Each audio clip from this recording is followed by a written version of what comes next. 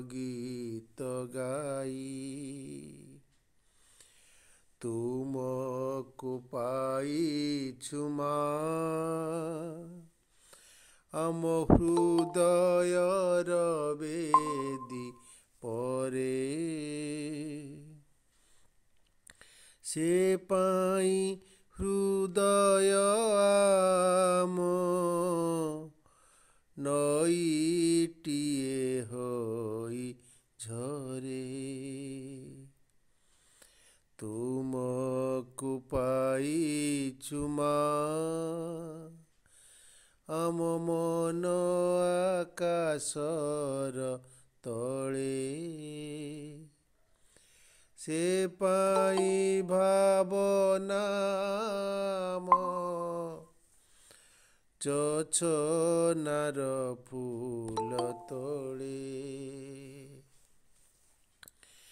କେବେ ଯଦି ନଈ ଆମ ଝରିବା ପାଶରି ଦିଏ। ମାୟାବନ ତରୁ ତଳ ଶୀତଳତା ବରି ନିଏ। କେବେ ଯଦି ନଈ ଆମ ଝରିବା ପାଶରି ଦିଏ। ମାୟାବନ ତରୁ ତଳ। ଶୀତଳତା ବରି ନିଏ। ତୁମରି ଆଶିଷେ ମା। ନବଚେତନା ସେ ଫେରି ପାଏ ଦୂର ସେହି ସାଗରକୁ ଖୋଜିବାକୁ ପୁଣି ଧାଇଁ ତୁମକୁ ପାଇଛୁ ମା ଆମ ମନ ଆକାଶର ତଳେ। ସେ ପାଇଁ ଭାବନା ଆମ ଯଛନାର ଫୁଲ ତଳେ। ତୁମକୁ ପାଇଛୁ ମା। ଆମ ହୃଦୟର ବେଦି ପରେ ସେ ପାଇଁ ହୃଦୟ ଆମ ନଈଟିଏ ହୋଇ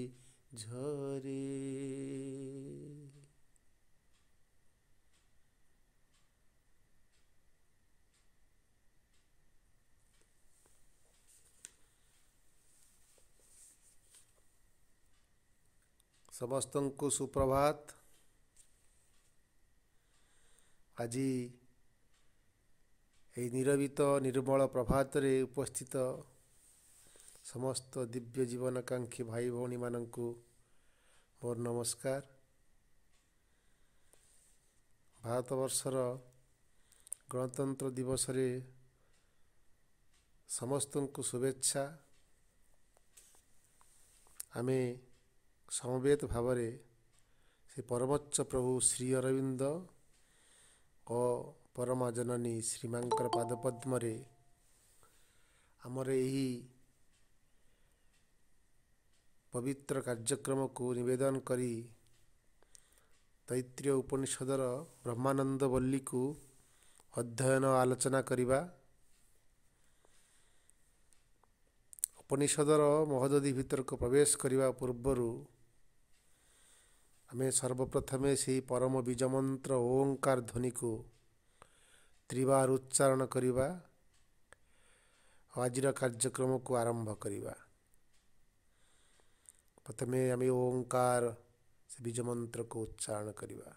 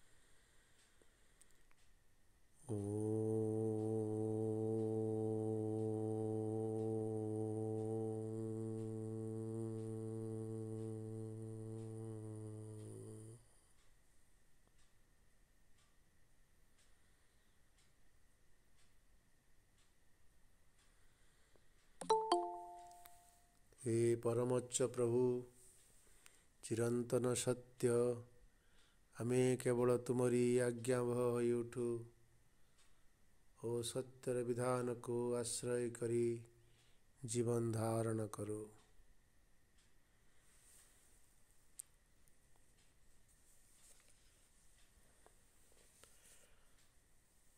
ଆମେ ବ୍ରହ୍ମାନନ୍ଦ ବଲିର ପ୍ରଥମ ଅନୁବାକ ଅଧ୍ୟୟନ କରିଥିଲୁ ଏଥିରେ ଉପନିଷଦର ଯେଉଁ ଗୁରୁ ତାଙ୍କ ଶିଷ୍ୟମାନଙ୍କୁ ବ୍ରହ୍ମଙ୍କ ଅସ୍ତିତ୍ୱ ସମ୍ବନ୍ଧରେ ଏକ ସଂଜ୍ଞା ନିରୂପଣ କଲେ। ରୂପଗତ ଭାବରେ କେମିତି ପରମ ଏହି ଜଗତରେ ନିଜକୁ ପରିପ୍ରକାଶ କରନ୍ତି। ଏବଂ ତାଙ୍କର ପରିପ୍ରକାଶଟା ଏକ ଅତୀନ୍ଦ୍ରିୟ ଜଗତ ଭିତରକୁ ପ୍ରବେଶ କରୁଛନ୍ତି। ସେ ଅତୀନ୍ଦ୍ରିୟ ଜଗତ ଭିତରେ ବିଚରଣ କରୁଥିବା ସେଇ ମହାନ ସାଧକମାନେ ତାକୁ ହିଁ କେବଳ ଧରିପାରନ୍ତି। ସେ ଅତୀନ୍ଦ୍ରିୟ ବସ୍ତୁ ଗୁଡ଼ିକ ଦ୍ୱାରା ଯାହା ଇନ୍ଦ୍ରିୟ ଅଗୋଚର ଇନ୍ଦ୍ରିୟ ପାଇଁ ଅଗୋଚର ହେଇ ଉଠେ। ପରମ ପ୍ରଭୁ କେମିତି ରୂପଗତ ଭାବରେ ଅତୀନ୍ଦ୍ରିୟ ଜଗତରେ ବ୍ରହ୍ମଙ୍କର ଆବିର୍ଭାବକୁ ଅତି ଅତି ଦର୍ଶନ ଦ୍ୱାରା ଅତି ଶ୍ରବଣ ଦ୍ୱାରା ଅତୀନ୍ଦ୍ରିୟ ଦ୍ୱାରା ବ୍ରହ୍ମବେତ୍ତା ମାନେ ଦେଖିପାରନ୍ତି ଅନୁଭବ କରିପାରନ୍ତି ସେହି ଅନୁସାରେ ବହୁ ପୁରା କାଳରୁ ବ୍ରହ୍ମଙ୍କ ସମ୍ବନ୍ଧରେ କୁହାଯାଇଛି ଯେ ବ୍ରହ୍ମ ଯେତେବେଳେ ସେଇ ଅବତରଣ କରନ୍ତି ସେ ସତ୍ୟମ ଜ୍ଞାନମ ଅନନ୍ତମ ରୂପରେ ସେ ବ୍ରହ୍ମବିତ୍ ମାନଙ୍କର ପ୍ରଜ୍ଞାକୁ ଆଧାର କରି ସେ ହିଁ ଅବତରଣ କରନ୍ତି। ସେହି ଅନନ୍ତ ସତ୍ୟ ଜ୍ଞାନ ରୂପରେ ମାନବର ଯୁକ୍ତିବୁଦ୍ଧି ଦ୍ୱାରା କେବଳ ବ୍ରହ୍ମବିଦ୍ ମାନେ ତାକୁ ପ୍ରାପ୍ତ କରିପାରନ୍ତି। ଏ ପ୍ରାପ୍ତି ଶବ୍ଦର ଅର୍ଥଟି ଅତି ଚମତ୍କାର ଅନୁଭବ କରିବା ଏବଂ ପ୍ରାପ୍ତି କରିବା ଏ ଦୁଇଟା ଭିତରେ ଅନେକ ପ୍ରଭେଦ ତ ବ୍ରହ୍ମଙ୍କୁ ସେମାନେ ଧାରଣ କରନ୍ତି ପ୍ରାପ୍ତି କରିବା। ଜଣେ ଶୁଙ୍ଗିକି ଅନୁଭବ କରିପାରେ ଏ ବଢ଼ିଆ ମିଠା? ତାକୁ ଜଣେ ଦେଖିକି ଅନୁଭବ କରିପାରେ ଆମ୍ବଟି ଗୋଟେ ବଢ଼ିଆ ମିଠା ଯେମିତି ଗୋଟେ ମନୋଜ ଦାସ ସୁନ୍ଦର ଭାବରେ ଗୋଟେ ଗପ କହନ୍ତି ଯେ ଡୁବନ୍ଦେ ଏକଦା ଗୋଟେ ସରୋବରରେ ଗୋଟେ କିଛି ସନ୍ନ୍ୟାସୀ ଏବଂ ଗୁରୁ ଏବଂ ଶିଷ୍ୟମାନେ ବସି ଗୋଟେ ଶାସ୍ତ୍ର ଆଲୋଚନା କରୁଛନ୍ତି। ଏହି ସମୟରେ ହଠାତ୍ ଜଣେ ଶିଷ୍ୟ ଦେଖିଲେ ଏବଂ ଗୁରୁ ତାଙ୍କ ପ୍ରତ୍ୟେକ ବାକ୍ୟରେ କହନ୍ତି ଯେ ତୁମେ ଯଦି କିଛି ଅନୁଭବ କରିବାକୁ ଚାହୁଁଛ ଯଥାର୍ଥରେ ଅନୁଭବ କରିବାକୁ ଚାହୁଁଛ ତାହେଲେ ଡୁବନ ଦେ ବାବା ଡୁବନ ଦେ ଡୁବନ୍ଦରେ ଅର୍ଥ ମାନେ ବୁଝିପାରୁନାହାନ୍ତି। ଏବଂ ଏହି ସମୟରେ ଜଣେ ଶିଷ୍ୟ ଦେଖିଲେ ଯେ ସେ ସରୋବରର ସରୋବର ଭିତରେ ଗୋଟିଏ ସୁନ୍ଦର ଆମ୍ବଟେ ପଡ଼ିଛି ଏହି ସମୟରେ ଦେଖୁଛନ୍ତି ଚାରିପଟରେ ଆମ୍ବ ଗଛଟେ ନାହିଁ କିନ୍ତୁ ଆମ୍ବଟେ ସୁନ୍ଦର ଆମ୍ବଟେ ପଡ଼ିଛି ଜଣେ ଶିଷ୍ୟ କହୁଛି ଆ ଆମ୍ବଟି କି ସୁନ୍ଦର ହେଇଛି ଆଉ ଜଣେ କହୁଛି ଆମ୍ବଟିକି ଦେଖି ଲାଗୁଛି ଏଇଟା ବହୁତ ମିଠା ହେଇଥିବ। ଆଉ ଜଣେ କହୁଛି ନା ଏ ଆମ୍ବଟି ଆମ ଏ ଅଞ୍ଚଳର ଆମ୍ବ ନୁହଁ ଏ ନିଶ୍ଚିତ ଏ ଆମ୍ବଟି ଅନ୍ୟ ବିଦେଶୀ ଆମ୍ବ ହେଇଥିବ ଆଉ ଜଣେ କହୁଛି ଏତେ ସୁନ୍ଦର ଆମ୍ବ ଭଗବାନ କ'ଣ ଏଠି ସୃଷ୍ଟି କରିଛନ୍ତି ଏମିତି ଆମ୍ବ ବିଷୟରେ ଚର୍ଚ୍ଚା ଚାଲିଛି ଆମ୍ବକୁ ନେଇ କେତେ କେତେ କଥା କେତେ କେତେ ଜ୍ଞାନର ଚର୍ଚ୍ଚା ଚାଲିଥିଲା ବେଳେ ହଠାତ୍ ଜଣେ ସେଇ ଗାଈ ରଖୁଆଳ ପିଲାଟି ସେଇପଟେ ଦେଇ ଯାଉଛି ଦେଖି ପକେଇଲା ଆମ୍ବଟି ଡେଇଁ ପଡ଼ିଲା ନଦୀକୁ ସରୋବର ଭିତରକୁ। ଆମ୍ବଟିକୁ ଗୋଟେଇ ଆଣିକିରି ପୁରା ଚାଖିଦେଲା ଗୋଟେ ଚୁବୁଳାଟେ ମାରିଦେଇ କହିଲା ଆହ କି ସୁନ୍ଦର କି ମିଠା। ତେଣୁ ଗୁରୁ କହୁଛନ୍ତି ଏଇଟା ହିଁ ଡୁବନ୍ଦେ ଆମେ ଆମ୍ବ ବିଷୟରେ ଯେତେ କଥା କହିଲେ ମଧ୍ୟ ଯେତେ ତତ୍ତ୍ୱ କହିଲେ ମଧ୍ୟ ଆମ୍ବକୁ ସେତେବେଳେ ମଧ୍ୟ ସେତେବେଳେ ହିଁ ଜାଣିହେବ ଯେତେବେଳେ ଆମ୍ବକୁ ଚାଖିବା ପ୍ରାପ୍ତ କରିବା। ତ ବ୍ରହ୍ମଙ୍କ ସମ୍ବନ୍ଧରେ ଯେତେ ଯେତେ କଥା କୁହାଯାଇଛି ବା ଜନ୍ମ ଯେତେ ଚର୍ଚ୍ଚା ହେଇପାରେ ଯାହା ବି ହେବ ଏସବୁ କଥା ଗୋଟେ ଇନ୍ଦ୍ରିୟଗତ ଭାବରେ ହୁଏ। ଏବଂ ଯେତେବେଳେ ବ୍ରହ୍ମଙ୍କୁ ପ୍ରାପ୍ତ କରାଯାଏ ସେତେବେଳେ ବ୍ରହ୍ମ ହେଇ ଉଠେ ମଣିଷ ସେତେବେଳେ ବ୍ରହ୍ମର ସ୍ୱଭାବ। କ'ଣ ସେତେବେଳେ ସେ ମଣିଷ ପ୍ରାପ୍ତ ଜାଣିପାରେ? ଏବଂ ସେ ଅତୀନ୍ଦ୍ରିୟ ବସ୍ତୁ ଦ୍ୱାରା ସେ ଆସିବେ ଏବଂ ଇନ୍ଦ୍ରିୟକୁ ମଧ୍ୟ ଅଧିକାର କରିବେ। ସେତେବେଳେ ହିଁ ବ୍ରହ୍ମବିଦ୍ ହିଁ ତାଙ୍କ ପ୍ରାପ୍ତି କରିବା ଅର୍ଥ ହେଉଛି ସେଇଆ। ତାଙ୍କୁ ପାଇବେ। ଆମ ପାଖରେ ଯେଉଁ ଜ୍ଞାନ ଅଛି ତାହା କେବଳ ଜାଣିବା ଦ୍ୱାରା ସୀମିତ ହୋଇ ରହିବ ନାହିଁ ଶ୍ରୀ ଅରବିନ୍ଦ କହୁଛନ୍ତି।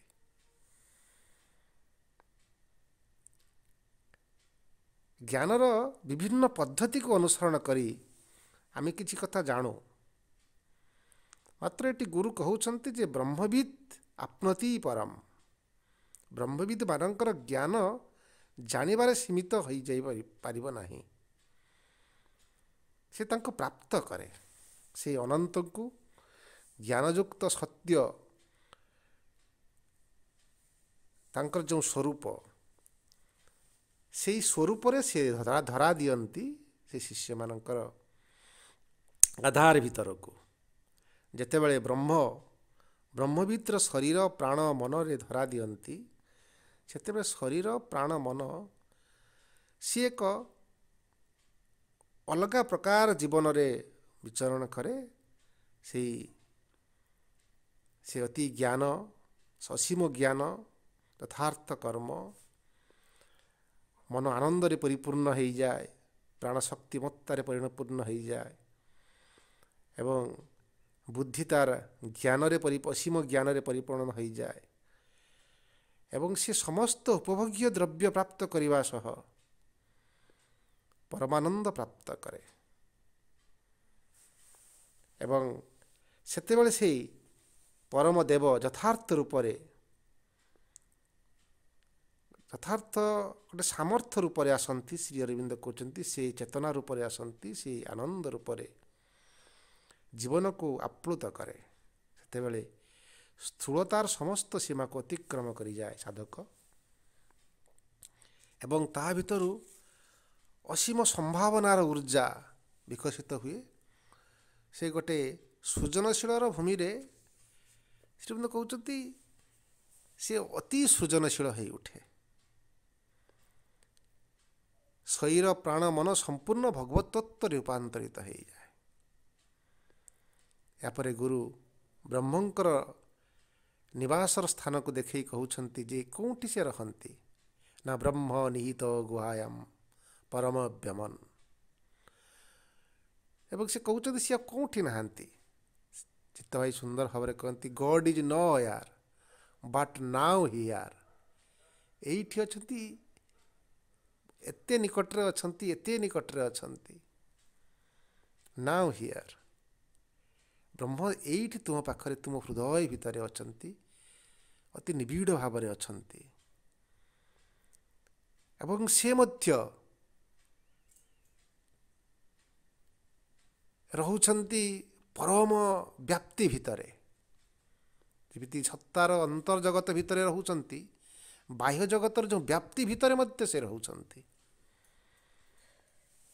ସେ ରହୁଛନ୍ତି ଯେ ତାଙ୍କର ଯେଉଁ ପରମ ବ୍ୟମନ ତାହା ଭିତରେ ମଧ୍ୟ ରହୁଛନ୍ତି ସେଇ ସୂକ୍ଷ୍ମ ତେଣୁ ସେ ଏଠି କହିବାର ଅର୍ଥ ହେଉଛି ଆମେ ଅତି ନିବିଡ଼ ଭାବରେ ଯଦି ବ୍ରହ୍ମଙ୍କୁ ପ୍ରାପ୍ତ କରିବା ଏଟା ତାଙ୍କର ବିଶାଳ ବ୍ୟାପ୍ତି ଭିତରକୁ ତ ପ୍ରବେଶ କରିବା ଆମ ପାଇଁ ସମୟ ସାପେକ୍ଷ କିନ୍ତୁ ଅତି ନିବିଡ଼ ଭାବରେ ପ୍ରବେଶ କରିପାରିବା ନିଜ ଭିତରକୁ ସେ ଏଇଠି ପାଖରେ ଅଛନ୍ତି।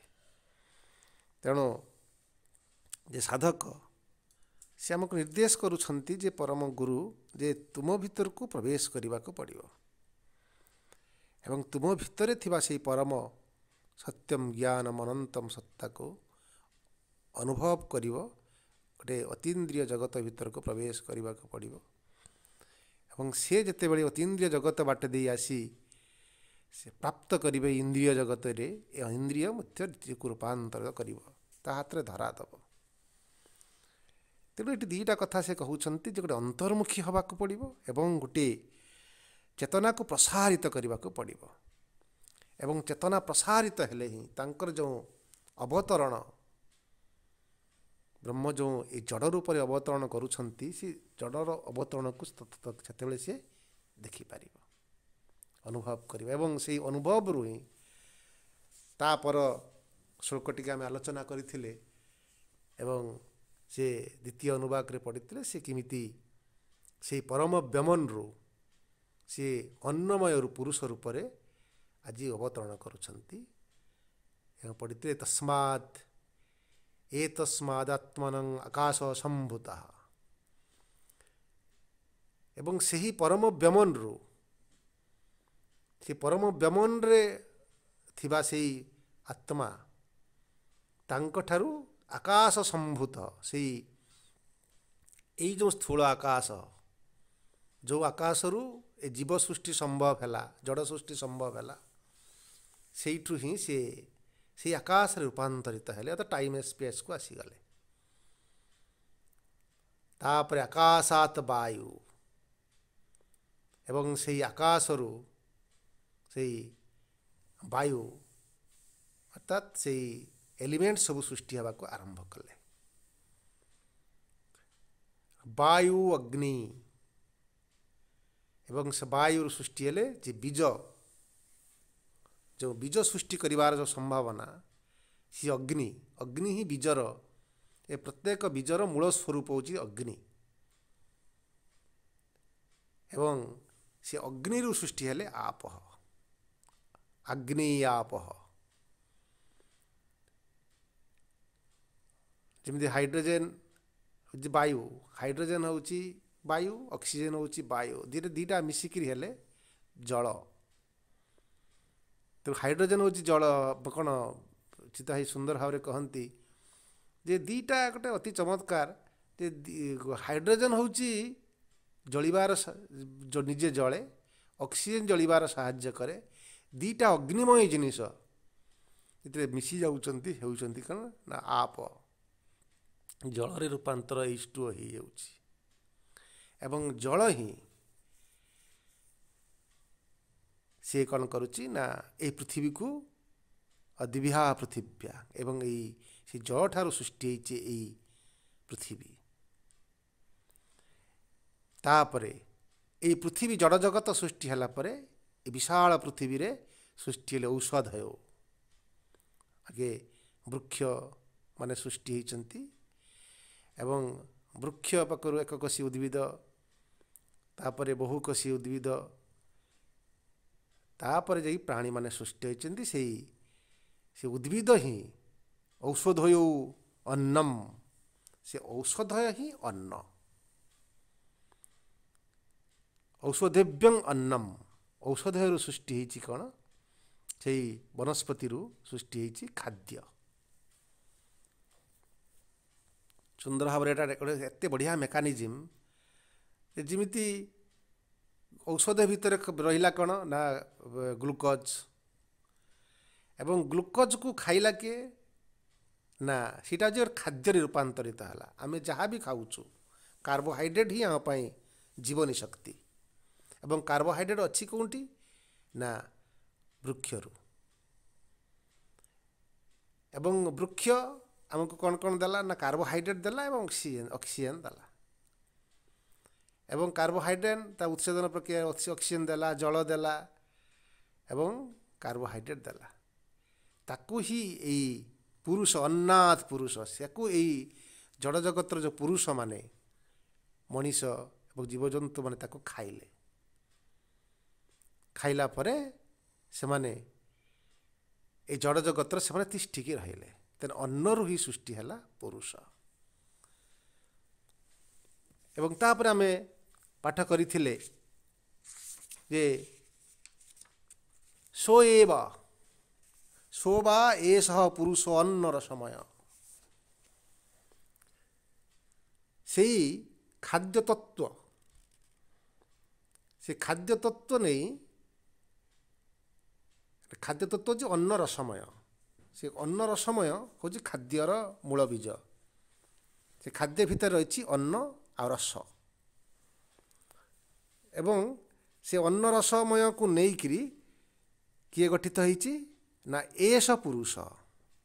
ଏହି ମଣିଷ ସୃଷ୍ଟି ହେଲା।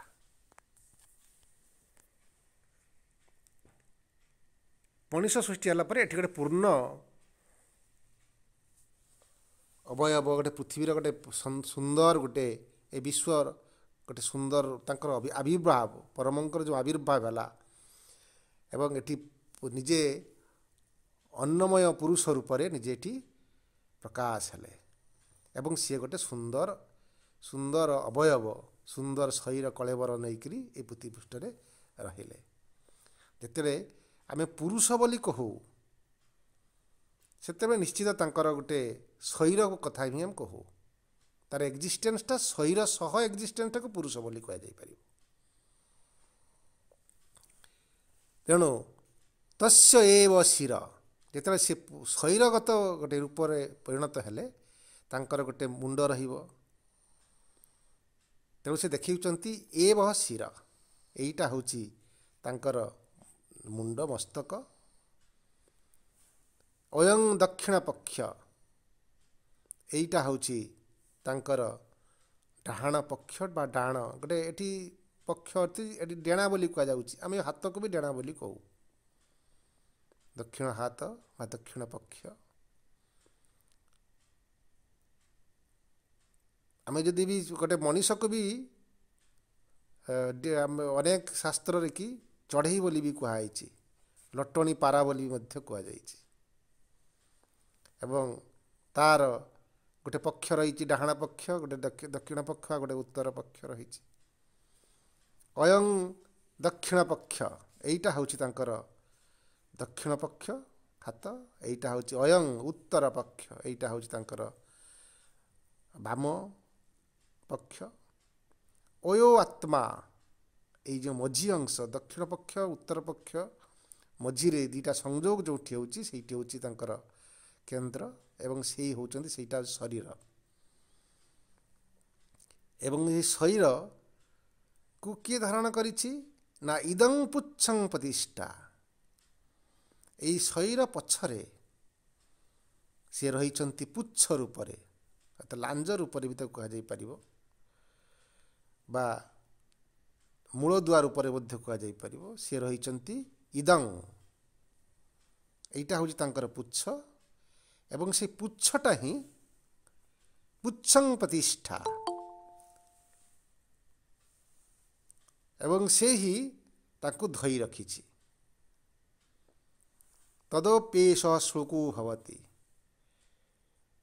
ଏହି ବିଷୟରେ ଏହି ଶ୍ଳୋକରେ ଏହି କଥା କୁହାଗଲା ତେଣୁ ଏଥି ଯେ ଖାଦ୍ୟରୁ ଜନ୍ମ ନେଇଥିବା ଶରୀର ତତ୍ତ୍ୱକୁ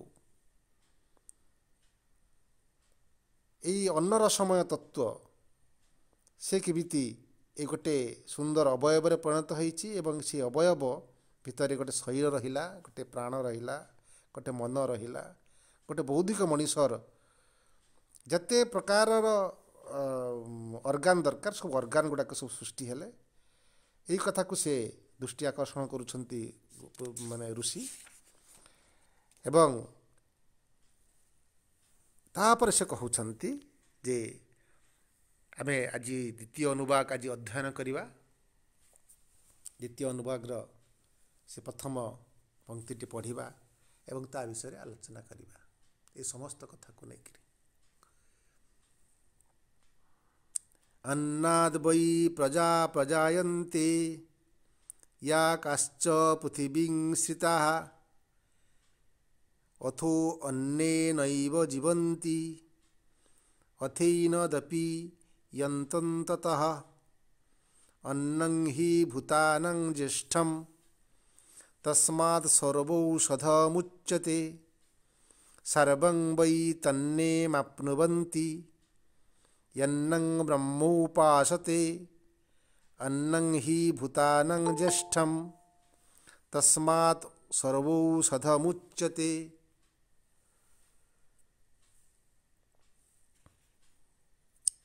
अन्नाद् भूतानि जायन्ते जातान्यन्न वर्धन्ते अद्यतेत्ति च भूतानि तस्मादन्नं तदुच्यत इति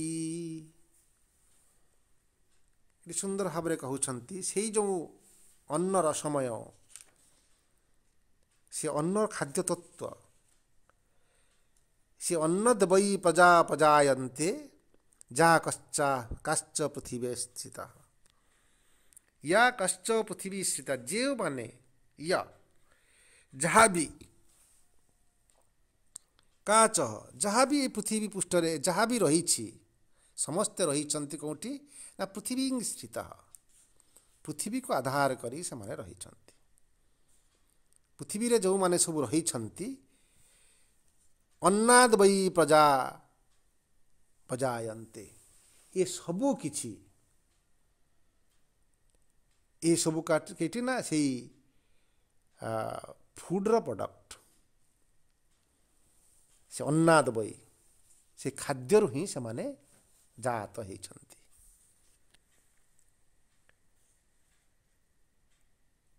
ତେଣୁ ଅଥୋ ଅନ୍ୟ ନୈବ ଜୀବନ୍ତି। ଏଣୁ ସେମାନେ ଅନ୍ୟ ଦ୍ୱାରା ହିଁ ଜୀବନ ଧାରଣ କରନ୍ତି।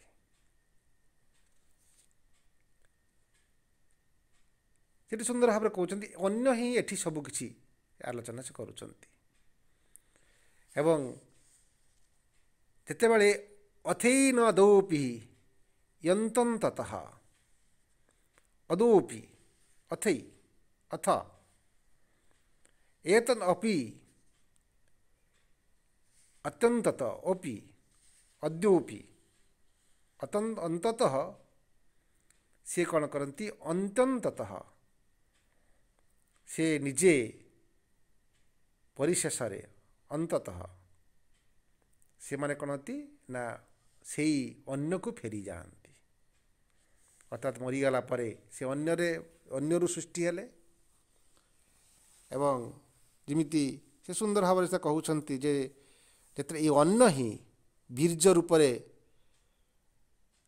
ସେ ବୀର୍ଯ୍ୟ ରୂପରେ ସେ ସୃଷ୍ଟି ହେଲେ ସନ୍ତାନ ଏବଂ ସେ ହିଁ ସେ ଯେତେବେଳେ ଜନ୍ମ ହେଲେ ସ୍ଥୂଳ ରୂପରେ ଏବଂ ଶରୀର ରୂପରେ ଏବଂ ଶରୀରକୁ ବର୍ଦ୍ଧିତ କଲା ସେ ଅନ୍ନ ଏବଂ ସେ ଯେତେବେଳେ ମରିଯାଉଛି ସେ ପୁଣି ଅନ୍ନରେ ରୂପାନ୍ତରିତ ହେଇଯାଉଛି।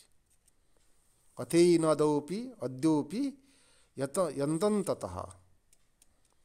ୟତଃ ଅନ୍ତତଃ ପରିଶେଷରେ ୟତ ଅର୍ଥାତ୍ ସେ ମିଶି ଯାଉଛି ତେଣୁ ଅନ୍ୟରୁ ସୃଷ୍ଟି ଅନ୍ୟରେ ହିଁ ବିଲୟ ଅନ୍ନ ହିଁ ଭୂତାନାଂ ଜ୍ୟେଷ୍ଠମ୍ ଅନ୍ନ ହିଁ ଏଇ ଜଗତରେ ଶ୍ରେଷ୍ଠ ଏଇ ପ୍ରାଣୀମାନଙ୍କ ଭିତରେ ବା ଏଇ ବିଶ୍ୱରେ ଅନ୍ନ ହିଁ ଶ୍ରେଷ୍ଠ ସବୁଠାରୁ ବଡ଼ ଖାଦ୍ୟ ହିଁ ଶ୍ରେଷ୍ଠ ଏ ଜଗତଟା ହେଉଛି ଖାଦ୍ୟ ଖାଦକର ଜଗତ। ସେ ନିଜେ ଅନ୍ନ ରୂପରେ ଅନ୍ୟକୁ ଖାଇକିରି ବଞ୍ଚୁଛି ସେ ପୁଣି ଯେତେବେଳେ ମିଶି ଯାଉଛି ଅନ୍ନର ଅନ୍ନ ହେଇଯାଉଛି। ସେ ପୁଣି କହିବେ ଅନ୍ନଂ ହି ଭୂତାନାଂ ଜ୍ୟେଷ୍ଠମ୍ ତସ୍ମାତ୍ ସର୍ବୌଷଧୁ ମୁଚ୍ୟତେ। ତାହାରି ଠାରୁ ସେ ଅନ୍ନ ଠାରୁ ତସ୍ମାତ୍ ମାନେ ସେ ଅନ୍ନ। ସେ ଅନ୍ନ ଠାରୁ ସର୍ବ ଔଷଧମ ଉଚ୍ଚତେ ସେ ହିଁ ଆମର ସର୍ବ ଔଷଧମ ଆମର ସମସ୍ତଙ୍କର କାରକ। ଆମକୁ ସମସ୍ତଙ୍କୁ ସେ ପାଳନ ରେମେଡ଼ି ବି ସିଏ। ଆମକୁ ପାଳନ କରିଛି ବି ସିଏ। ତେଣୁ ସିଏ ହିଁ ଆମର ସର୍ବ ଔଷଧ ସେ ସେଇ ଆମ ପାଇଁ ଭେଷଜ ସେଇ ପାଇଁ ଆମ ପାଇଁ ଔଷଧ ସେଇ ପାଇଁ ଆମ ହିଁ ସବୁକିଛି ତେଣୁ ତାକୁ ସର୍ବୌଷଧ ବୋଲି କୁହାଯାଏ। ସର୍ବଂ ବୈ ତନ୍ନେମାପ୍ନୁବନ୍ତି ତେଣୁ ସର୍ବୀ ସେମାନେ ଅନ୍ନ ଅନ୍ନମ୍ ଆପ୍ନୁବନ୍ତି ସମସ୍ତେ ଅନ୍ନକୁ ଲାଭ କରନ୍ତି ଅନ୍ନ ବିନା ବିନା ଆଉ ଜଗତ କିଛି ନାହିଁ ତେଣୁ ଯେହେତୁ ଅନ୍ନ ହିଁ ଏଠି ସବୁ କିଛି ଏବଂ ଅନ୍ନ ହିଁ ଆମକୁ ବଞ୍ଚେଇ ରଖିଛି ଅନ୍ନ ହିଁ ଆମକୁ ବଢ଼ଉଛି। ତେଣୁ ସେ କହୁଛନ୍ତି ଇଏନଂ ବ୍ରହ୍ମୋପାସତେ।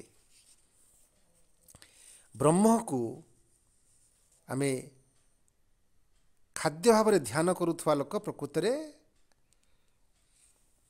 ସେଇ ଯେଉଁମାନେ ଅନ୍ନକୁ ଧ୍ୟାନ କରନ୍ତି ଅନ୍ନକୁ ବ୍ରହ୍ମ ବୋଲି ଉପାସନା କରନ୍ତି ସେମାନେ ଅନ୍ନକୁ ଆପ୍ନୁବନ୍ତି ଅନ୍ନକୁ ପ୍ରାପ୍ତ କରନ୍ତି। ଅନ୍ନ ହିଁ ଭୂତାନାମ ଜ୍ୟେଷ୍ଠମ ଅନ୍ନ ହିଁ ଏଇ ଭୂତମାନଙ୍କ ମଧ୍ୟରେ ଶ୍ରେଷ୍ଠ ଏଇ ଜଗତ ମଧ୍ୟରେ ଶ୍ରେଷ୍ଠ ତାପରେ ସେ ଆଲୋଚନା କରୁଛନ୍ତି ତସ୍ମାତ୍ ସର୍ବୌ ସର୍ବୌଷଧ ମୁଚ୍ୟତେ ସେଇ ଅନ୍ନଠାରୁ ସର୍ବୌଷଧ ସୃଷ୍ଟି ହେଇଛି ତେଣୁ ତାହାଠାରୁ ତାହାକୁ ହିଁ ସର୍ବୌଷଧ ବୋଲି କୁହାଯାଏ ତସ୍ମାଦ୍ ଭୂତାନି ଯାୟନ୍ତେ ସେଇ ଅନ୍ନଠାରୁ ଭୂତାନି ଏଇ ଜଗତ ସେ ଜନ୍ମଲାଭ କରିଛି ଏବଂ ଜାତାନ୍ୟନ୍ନେ ଜାତାନ୍ୟନ୍ନେନ ବର୍ଦ୍ଧନ୍ତି ଏବଂ ସେଇ ଜନ୍ମଲାଭ କଲା ପରେ ସେମାନେ କ'ଣ କରନ୍ତି ନା ବର୍ଦ୍ଧନ୍ତି। ସେ ଅନ୍ନ ଦ୍ୱାରା ଅନ୍ନେନ ଅନ୍ନ ଦ୍ୱାରା ବର୍ଦ୍ଧନ୍ତି। ସେ ଅନ୍ନ ହିଁ ତାକୁ ବଢ଼େଇଛି। ଅନ୍ନ ଦ୍ୱାରା ସେମାନେ ବଢ଼ନ୍ତି। ଆଦ୍ୟତ୍ୟତି ଚ ଭୂତାନି। ତେଣୁ ଆଦ୍ୟରେ ସେ ଥିଲେ ଭୂତାନି ତାପରେ ଆଦ୍ୟ ଉତ୍ତେତି ଏବଂ ଶେଷରେ ମଧ୍ୟ ସେ ଭୂତାନି ସେ ଭୂତରେ ରୂପାନ୍ତରିତ ହୋଇଯାଉଛନ୍ତି। ତେଣୁ ପ୍ରାଣୀମାନେ ଖାଦ୍ୟକୁ ଖାଆନ୍ତି ଆଦ୍ୟ ଉତ୍ତେତି ଅତି ଅତି ମାନେ ସେ ଖାଏ ଆଦ୍ୟ ଅଦ୍ୟ ସେ ଖାଏ ପୁଣି ସେ ଅନ୍ୟର ଖାଦକ ପରିଶେଷରେ ସେ ଅନ୍ୟର ଖାଦକ ହେଇଯାଏ ଅନ୍ୟମାନେ ତାକୁ ଖାଆନ୍ତି ତସ୍ମାତ୍ ଅନ୍ନଂ ତଦୁଚ୍ଚତି ତେଣୁ ତାହା ଅନ୍ୟ ଏଇ ଏଇ ଖାଦ୍ୟକୁ ଅନ୍ନମ ବୋଲି କୁହାଯାଇଛି। ଅର୍ଥାତ୍ ସେ ଏ ଜଗତକୁ ଏଇ ଅନ୍ନ ରୂପରେ ଏ ଜୀବ ସୃଷ୍ଟି ହେଲା ଏବଂ ଅନ୍ନରେ ରୂପାନ୍ତରିତ ହେଇଗଲା। ତେଣୁ ଏ ଜଗତକୁ ଅନ୍ନମୟ ଜଗତ ବୋଲି କୁହାଯାଇଛି। ଏଠି ଅନ୍ନ ହେଉଛନ୍ତି ବ୍ରହ୍ମ। ଅନ୍ନ ବ୍ରହ୍ମ ରୂପରେ ଏ ପୃଥିବୀ ଅବତରଣ କରୁଛନ୍ତି ଏବଂ ସିଏ ପ୍ରଥମରୁ ସେ କହି କହି ଗଲେ ଯେ କେମିତି ଅନ୍ନ ରୂପରେ ରୂପାନ୍ତରିତ ହେଲେ ଏବଂ ଅନ୍ନ କେମିତି ଅନ୍ନ ଦ୍ୱାରା ହିଁ ଏ ଜୀବ ନିଜେ ବଞ୍ଚିଛି ଏ ପୃଥିବୀରେ ଆଶ୍ରିତ କରିଛି ଅନ୍ୟ ଦ୍ୱାରା ସେ ବଢ଼ୁଛି ଏବଂ ଶେଷରେ ସେ ଅନ୍ନରେ ରୂପାନ୍ତରିତ ହୋଇଯାଉଛି। ତେଣୁ ଏଠି ଅନ୍ନ ହିଁ ଭୂତାନାମ ଜ୍ୟେଷ୍ଠମ ଏବଂ ଅନ୍ୟ ହିଁ ଭୂତମାନଙ୍କ ମଧ୍ୟରେ ଶ୍ରେଷ୍ଠ ସର୍ବୋତ୍ତମ ୟନ୍ନଂ ବ୍ରହ୍ମୋପାସତେ ତେଣୁ ଅନେକ ଅଛନ୍ତି ଅନ୍ନକୁ ହିଁ ବ୍ରହ୍ମ ବୋଲି ଉପାସନା କରନ୍ତି ଯେମିତି ମାଟି ଘଟଟି ଉଦାହରଣ ସବୁ ଦିଅନ୍ତି ଇଏ ମାନେ ପ୍ରବଚକମାନେ ଯେ ମାଟି ଘଟ ମାଟିରୁ ତିଆରି ତୁ ଯେତେବେଳେ ଭାଙ୍ଗିଯାଏ ସେ ମାଟିରେ ହିଁ ରୂପାନ୍ତର ହୋଇଯାଏ ସେମିତି ଏ ଶରୀରଟି ଇଏ ଭୂତରୁ ତିଆରି ବା ଅନ୍ନମରୁ ତିଆରି ଏବଂ ସେ ଯେତେବେଳେ ମାନେ ସେ ଯେତେବେଳେ ଭାଙ୍ଗିଯାଏ ବା ସେଥିରେ ଯଦି ମରିଯାଏ ସେ ପୁଣି ଅନ୍ନର ଅନ୍ନରେ ରୂପାନ୍ତରିତ ହୋଇଯାଏ। ତେଣୁ ଏ ଜଗତଟା ହେଉଛି ଅନ୍ନ ଖାଦ୍ୟ ଖାଦକର ଜଗତ। ଆମେ ଯେମିତି ଖାଦ୍ୟକୁ ଖାଇକି ବଞ୍ଚୁଛୁ ଆମକୁ ଅନ୍ୟମାନେ ଖାଇକିରି ବଞ୍ଚିବେ। ତେଣୁ ଏଇ ଏଇ ପ୍ରକାର ଜଗତ ଏଠି ଅବସ୍ଥାପନ କରିଛି। ୟା ପରେ କେବଳ ଏତିକି ନାହିଁ। ଭଗବାନ ଯେମିତି ଆକାଶାତ ବାୟୁ ବାୟୁରଗ୍ନି ଅଗ୍ନିରାପ ଆପ ପୃଥିବ୍ୟାଂ ଔଷଧି ଏମିତି ବର୍ଣ୍ଣନା କରି କରି ଗଲେ। ସେମିତି ସିଏ ଏବଂ ଜଡ଼ ରୂପରେ ମନୁଷ୍ୟ ପ୍ରଜାୟନ୍ତେ ବୋଲି ସେ କହିଲେ। ତାପରେ ଏଠୁ ଆରମ୍ଭ କରି ଜଡ଼ ରୂପୁ। ପୁଣି ଉର୍ଦ୍ଧ୍ୱ କ୍ରମରେ ଉପରକୁ ଉପରକୁ ଯିବେ। ଏଠି ଜଡ଼କୁ ଆଲୋଚନା କଲେ ଏ ଜନ୍ମ ଏଠି ଅନ୍ନ ହିଁ ବ୍ରହ୍ମ ରୂପରେ ଏଠି ପ୍ରତିଷ୍ଠିତ ହେଉଛନ୍ତି। ସେଇଥିପାଇଁ ଆମେ ଖାଦ୍ୟକୁ ମା ଲକ୍ଷ୍ମୀ ବୋଲି କହୁ ଖାଦ୍ୟର ଯତ୍ନ ନେଉ ଖାଦ୍ୟର ସଂରକ୍ଷଣ କରୁ। କାହିଁକିନା ସେ ହିଁ ବ୍ରହ୍ମ ଏଠି। ଏବଂ ଖାଦ୍ୟର ଯତ୍ନ ନେଲେ ସେଇଠି ସେ କହୁଛନ୍ତି ଯେ ସର୍ବଂ ବୈ ତେନ୍ନ ଆପ୍ନୁବନ୍ତି। ସେ ଅନ୍ନକୁ ସେଇମାନେ ଆପ୍ନୁବନ୍ତି ପ୍ରାପ୍ତ କରନ୍ତି। ୟେନ୍ନଂ ବ୍ରହ୍ମ ଉପାସତେ। ଯେ ବ୍ରହ୍ମକୁ ଯେ ଅନ୍ନକୁ ବ୍ରହ୍ମ ବୋଲି ବୋଲି ତାର ଯତ୍ନ ନିଏ ସେ ହିଁ ସର୍ବେଇ ବୈ ଅନ୍ନଂ ଆପ୍ନୁବନ୍ତି ସେ ଅନ୍ନକୁ ପ୍ରାପ୍ତ କରନ୍ତି। ଅନ୍ୟମାନେ ଅନ୍ନକୁ ପ୍ରାପ୍ତ କରିପାରିବେ ନାହିଁ। ଯଦି ବ୍ରହ୍ମକୁ ଅନ୍ନକୁ ବ୍ରହ୍ମ ବୋଲି ଉପାସନା କରି ଯତ୍ନ ନେଉନଥିବେ ଏବଂ ସେମାନେ ଜାଣିଛନ୍ତି ଏଇ ଅନ୍ନ ହିଁ ଆମକୁ ବର୍ଦ୍ଧନରେ ସାହାଯ୍ୟ କରୁଛି ଏଇ ଅନ୍ନ ହିଁ ଆମକୁ ବଞ୍ଚେଇ ରଖିଛି ଏଇ ହିଁ ଆମକୁ ପାଳନ କରୁଛି। ସେମିତି ଭାବରେ ଆମେ କହୁ ପିଲାଟି ଖାଉଛି ମାନେ ବାପା ମା' ମାନେ ଖୁସି ହୁଅନ୍ତି ତାହେଲେ ସେ ବର୍ଦ୍ଧନ କରିବ ଯେତେବେଳେ ଜୀବନର ଶେଷ ପର୍ଯ୍ୟାୟରେ ରହେ ଖାଦ୍ୟ ଛାଡ଼ି ସାରିଲାଣି ସିଏ ଆଉ ରହିପାରିବ ନାହିଁ ଯେତେବେଳେ ଖାଦ୍ୟ ପରିତ୍ୟାଗ କରେ ସେତେବେଳେ ସିଏ ନା ଜୀବନର ଶେଷ ମୁହୂର୍ତ୍ତ ଆସିଗଲା ବୋଲି ଆମେ କହୁ ଯେ ତା'ର ଖାଦ୍ୟ ସରିଗଲାଣି ଖାଦ୍ୟ ଛାଡ଼ି ସାରିଲାଣି ସିଏ ଆଉ ବେଶୀ ଦିନ ରହିପାରିବ ନାହିଁ ତେଣୁ ଖାଦ୍ୟ ହିଁ ଏଠି ସବୁକିଛି ତାପରେ ସେ ଖାଦ୍ୟରେ ହିଁ ରୂପାନ୍ତର ହେଇ ଏ ସଂସାର ଚାଲିଯାଏ। ଏଇପାଇଁ ଗୋଟେ ଅନ୍ନ ସମ୍ପର୍କରେ ସେ ଅନଲା କରିବେ। ତେଣୁ ଅନ୍ନ ଭିତରେ ଇଏ ଅନ୍ନକୁ କିଏ ୟାକୁ ବଞ୍ଚେଇ ରଖିଛି? ଏ ଅନ୍ନମୟ ଶରୀରକୁ ସର୍ବାୟୁଷମ ପ୍ରାଣ।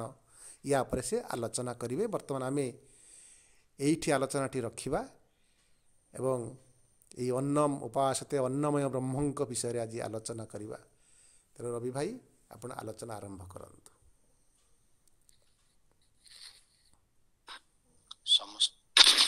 ସମସ୍ତଙ୍କୁ ନମସ୍କାର ଶୁଭ ସକାଳ